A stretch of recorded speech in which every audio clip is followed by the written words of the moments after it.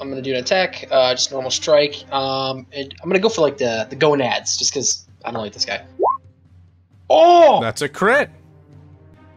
it's a giant fire 80 axe damage. right to this dude's nuts. I'm sorry. I'm a I'm like a middle I feel like I'm a middle school teenager boy. But you did strike him exactly in the ball sack. And I'm assuming his clothes didn't heal, so now it's just like giant troll dick. Oh god. Here to strike. Um, I'm not going to say no. I, I had to see it in my head, so now all of you do too.